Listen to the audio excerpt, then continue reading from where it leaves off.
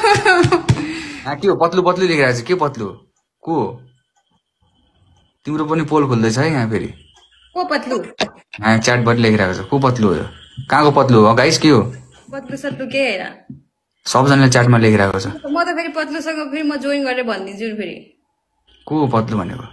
पत्लु भनेको मलाई थाहा छैन साथी हाम्रो पनि ल ठिक छ। त्यस्तो के होइन यार गाइज किन हजुरहरू यस्तो उ गरेर राख्नु भएको छ यसलाई उ गर्यो यसलाई उ गर्यो? त्यस्तो होइन नि यार यु नो लभ सपमा कुलबाई कहिले पनि पर्दैन त्यस्तो कुरामा यु नो लभ सप भन्ने कुरा कुलबाट कहिले पनि हुँदैन यु नो लभ गर्नलाई अलिकति दामी होस् न अलिकति बुझ्ने खालको होइन म यस्तो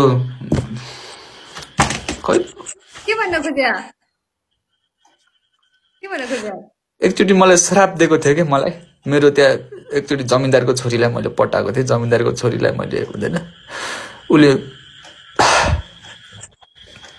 जमिनदारको घरमा त्यो सप्ताह लाग्ने बेलामा मैले त्यहाँ चप्पल चोरेको थिएँ। चप्पल चोरेको मान्छेले त्यो चप्पलवाला मान्छेले श्राप दिएको थियो कि एकचोटि।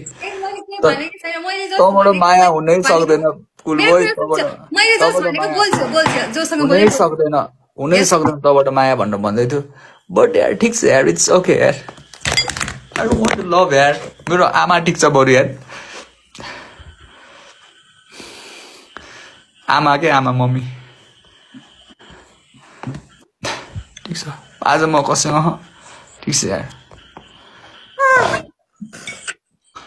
म- मैले जोसँग बोले बोल्छु तर सिस्टर किन भनेर मात्र भनेको।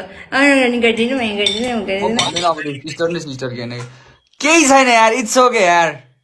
इट्स ओके यति हुँदैन ठिक छ एबा पनि राम्रो छ मान्छे मलाई राम्रो लाग्छ एबा किनकि सी इज रियली गुड मसँग एकदम राम्रोसँग बोल्छ।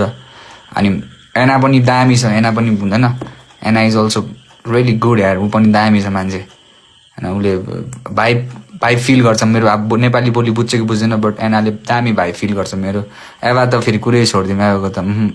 अस्ति बिरामी भएर ब्ल्याड ब्ल्याड भइरहेको थियो अरे के चाहियो? के लास्ट विस के छ भन्दाखेरि कुलबाई भन्दै थियो अरे एबाले अनि सक्छ त। अनि। त्यही त। अब म सुत्नु पनि पर्ला हो। होस्। त्यही भएर। त्यही हो। दुईजना मिलेरै बस्छ घरमा। एउटा घरमा दुईजनै मिलेर बस्छ। अनि। अब यस्तो यस्तो चाहिँ यसले हानिदिन्छु म त। चल्नु पर्ला जस्तो छ। होइन लास्ट निन्द्रा लाग्न थाल्यो। एबा म पनि अब सुत्छु यार हुँदैन। त्यो